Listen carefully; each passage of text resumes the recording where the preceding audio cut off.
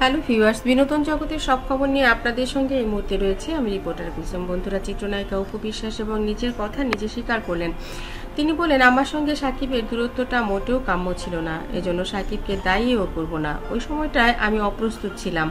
ওই ধরনের অপ্রস্তুত পরিস্থিতিতে যে কোনো কিছু মোকাবেলা করা আমার জন্য অনেক টাফ হয়ে গিয়েছিল। তাই আমি অনেক কিছু বুঝে উঠতেও পারিনি। অনেক উল্টাপাল্টা কথা বলেছি। পরে আমাকে যে এই ধরনের পরিস্থিতির মুখোমুখি হতে হবে তা কখনোই ভাবিনি। তাই হয়তো ঘরের কথা পরের মতো করে বলে ফেলেছি। একটা সময় পর এসব ভাবতে ভাবতে নিজের প্রতি নিজে অনেক কষ্ট পেয়েছি। লজ্জিত হয়েছি। আমি আমার শ্বশুর শাশুড়িকে নিয়েও কোনো ভালো উক্তি তখন বলিনি একজন তারকা শিল্পী হয়ে জনসম্মুখে এত কথা বলেছি তা ঠিক হয়নি বলেও আমার মনে হয়েছে। আমার উপলব্ধি হয়েছে, ব্যক্তি উপবিশ্বাসের চেয়ে আমি একজন নায়িকাও বটে, তাই আমাদের কথা দ্রুত ছড়ায়। ওই সময়টায় খেই হারিয়ে অনেক উল্টাপাল্টা কথা বলেছি, যা মোটেও ঠিক ছিল না। ওসব কিছু ভেবে আমি ভীষণভাবে লজ্জিত, অনুতপ্ত। আমি মনে করি মানুষ মাত্রই ভুল হয়, মানুষের বাইরে আমি নই, তাই আমিও ভুলের ঊর্ধ্বে নই। এখন আমার মনে হয়েছে, আমার যেসব ভুল হয়েছে, সাকিবের প্রতি যে অন্যায় আমি করেছি, তার পরিবারের প্রতি যে অপবাদ দিয়েছি, তা আমি শুধরাতে চাই। শুধরাতে চাই বলে এখন সত্যি কথা বলছি। এখানে অন্য কোনো উদ্দেশ্য নেই। চিত্রনায়িকার অপবিশ্বাসের এই কথাগুলো শুনে অনেকেই হয়তো এখন মনে করবেন যে সাকিবকে পটানোর জন্য চিত্রনায়িকা অপবিশ্বাস এই ধরনের কথা বলছে। কিন্তু না, একটা মানুষ যখন তার নিজের প্রিয় মানুষটিকে একটু ভিন্ন রকম দেখে কিংবা নিজের যখন শারীরিক একটু সমস্যা তৈরি হয়, অর্থাৎ সেই সময়টাতে অপবিশ্বাস নিজের বাচ্চা নিয়ে, নিজের ক্যারিয়ার চলছে না, এত বড় একজন নায়িকা, তার তখন নিজে অভিনয় করতে পারবেন না বা লুকিয়ে থাকতে হয়েছে বেশ কিছুটা সময়। শারীরিক পরিবর্তন এসেছে।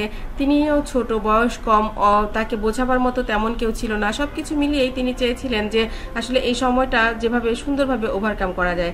কিন্তু আসলে তাকে বোঝাবার মতো পরিবারের তেমন কেউ ছিল না কিংবা বুঝে উঠতে পারেননি তিনি যে আসলে কি করা উচিত। যার উপরে যা ক্ষোভ ছিল, তিনি সেটাই মিডিয়াতে প্রকাশ করে দিয়েছিলেন। সবচেয়ে বড় কথা, তিনি তখন সাকিবকেই বুঝতে পারছিলেন না যে আসলে ও কি করতে যাচ্ছে। আর আবরাম খান জয়ের বয়স তখন আট মাস হয়ে গিয়েছিল। এখনও ওকে কেউ চেনে না।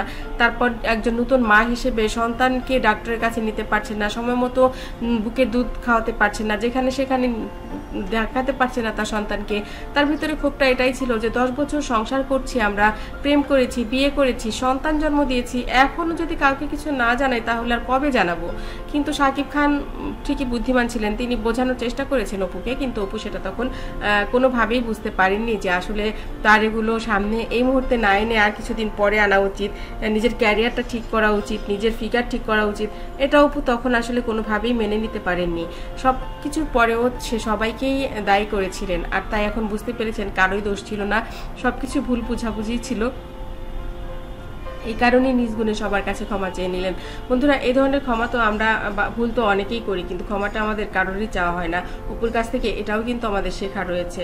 আমার চ্যানেলটি যারা ইতিপূর্বে সাবস্ক্রাইব করেছেন, তাদেরকে অনেক ধন্যবাদ। যারা এখনও করেননি, সব খবর সবার আগে পেতে সাবস্ক্রাইব করে বেল আইকনে ক্লিক করলে আপনাদের কাছে পৌঁছে যাবে বিনোদন জগতের সব খবর সবার আগে। ভালো থাকবেন, ভালো রাখবেন, প্রিয়জনকে ধন্যবাদ আবারও।